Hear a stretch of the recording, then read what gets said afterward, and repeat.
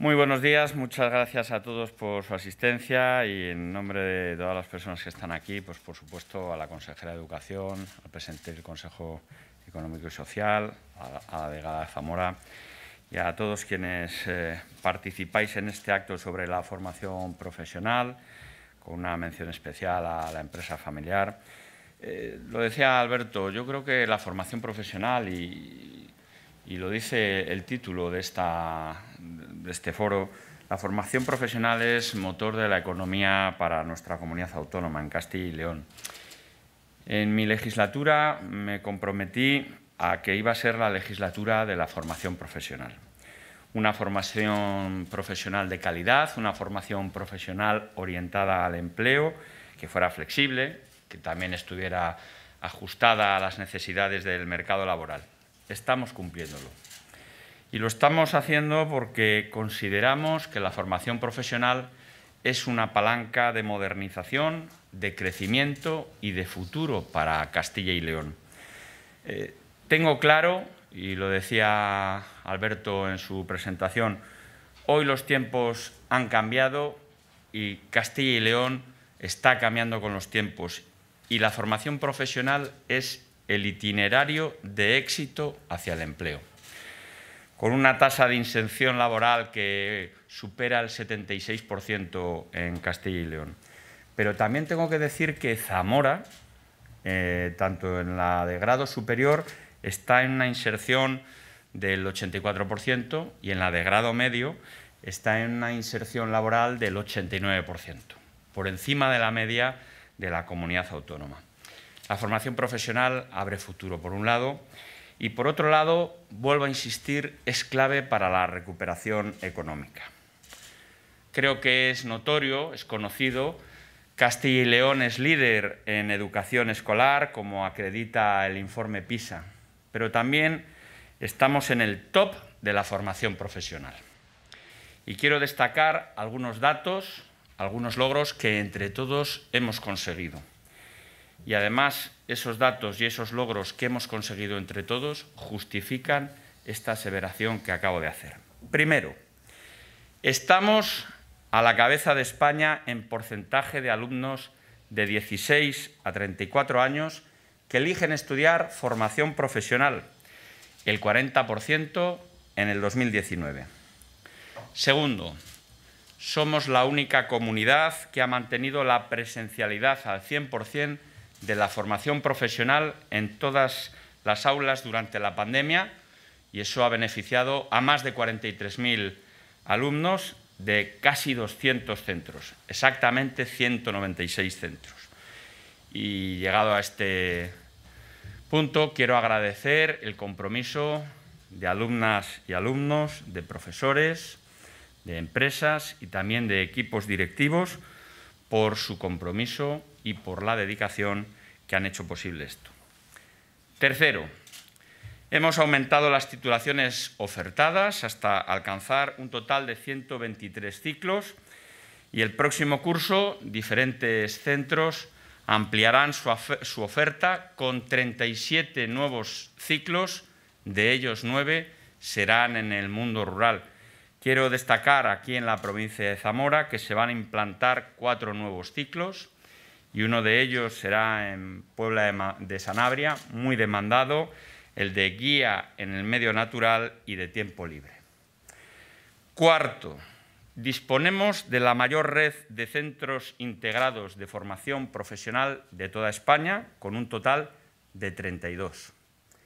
Quinto, hemos sido la primera comunidad en poner en marcha centros de excelencia de formación profesional, iniciativa que ya aglutina a 31 centros. Sexto, un 10% de los estudiantes de Castilla y León tienen acceso a la formación profesional dual, el modelo más robusto de España y uno de los pocos que cumplen los criterios de calidad europea. Séptimo, Aumentamos la base de empresas que colaboran con la formación profesional dual y esta legislatura ya se han generado más de 1.070 puestos de aprendizaje dual. Acabamos de suscribir un convenio con la Asociación de Empresa Familiar que permite que las 100 empresas asociadas a esta organización puedan participar y nos congratulamos de ello. También hemos pedido al Gobierno de España que modifique la normativa básica de la formación profesional para que puedan incorporarse a la FP Dual tanto a las pymes como a las micropymes. Octavo, hemos consensuado en el diálogo social, lo vamos a firmar este miércoles, el nuevo Plan Estratégico General de Formación Profesional. Un plan que va a servir, por un lado, para modernizar la formación profesional, ajustando su oferta a las necesidades del sistema productivo, aumentando el atractivo para nuestros jóvenes y algo también especialmente relevante, potenciar la recuperación económica de Castilla y León. Noveno, llegamos a los mil proyectos de innovación y emprendimiento desarrollados a través de la iniciativa del programa Aula Empresa. Un ejemplo de cómo la formación profesional contribuye de abajo arriba a mejorar nuestro tejido productivo. Tengo que decir que Zamora es la provincia con más aulas de emprendimiento en proporción a su número de centros y de alumnos. Y décimo, la formación profesional es cada vez más internacional. La movilidad de alumnos se multiplicó casi por 15 entre el 17 y el 20. Seguimos incrementando las alianzas con otros países. Por tanto, amigas y amigos, hay muchas razones para insistir en la idea que dije al, inicio. La formación profesional es un itinerario de éxito para llegar al empleo. También el refuerzo del profesorado, ayudas para la adquisición de dispositivos digitales, el liderazgo de nuestros alumnos en los campeonatos nacionales de formación profesional son algunos ejemplos. De esta última referencia quiero decir que alumnos de Zamora han obtenido cuatro medallas de oro en los campeonatos autonómicos y representarán a Castilla y León, a nuestra comunidad, en los próximos campeonatos nacionales.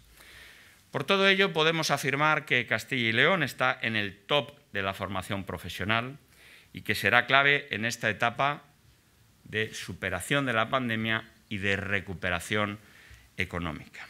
Por eso vamos a permitir, vamos a contribuir a que los jóvenes puedan incorporarse a empresas próximas al lugar de residencia con la formación profesional. Es algo especialmente relevante porque permite la retención del talento por un lado y por otro lado fijar la población en el territorio. También la formación profesional va a aportar las personas cualificadas que nuestra economía necesita. Estamos apostando, por tanto, desde todos eh, los ámbitos por una formación profesional moderna, más atractiva todavía y sobre todo de excelencia adecuada a la era digital, adecuada también a la transición verde, una formación profesional, en definitiva, al servicio del futuro de las personas de Zamora y de Castilla y León. No me extiendo más, quiero agradecer a todos eh, su presencia y quiero agradecer muy especialmente a todas las personas que os esforzáis día a día para que ese futuro, de la mano de la formación profesional, esté cada día más cerca. Muchísimas gracias.